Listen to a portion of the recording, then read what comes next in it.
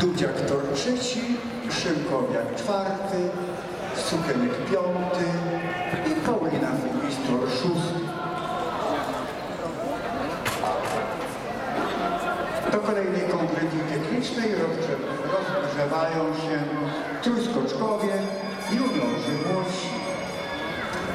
25, 95, międzyczas pierwsze 200 metrów.